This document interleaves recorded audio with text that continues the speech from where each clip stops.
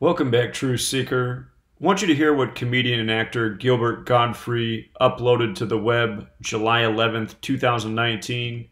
Take a listen, and then I want to show you what's so interesting about him uploading this about the Golden Gate Bridge in August 11th, a month prior on July 11th. Hi, I'm Gilbert Gottfried. This is for San Francisco, being sent by Harp.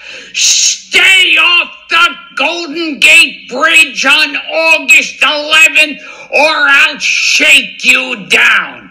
Here I come. Shout out to Clorps.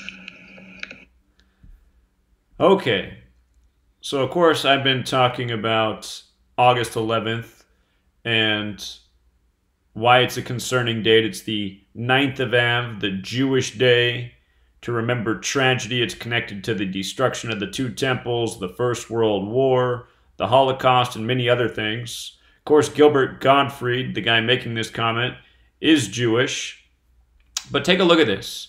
From his birthday, February 28th, to the day that was posted to the web, July 11th, that was his 134th day of his age. The reason that's interesting is because Tisha B'Av equals 134. Tisha B'Av, another way to say it, is the ninth of Av, the ninth day of the Jewish month Av. And notice they both equal 134.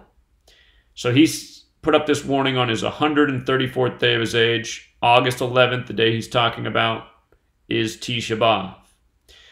And what else is interesting is his whole name is Gilbert Jeremy Gottfried. Here it is right here. Gilbert Jeremy Gottfried. And that equals 118. Not too far off from 11 slash 8, August 11th.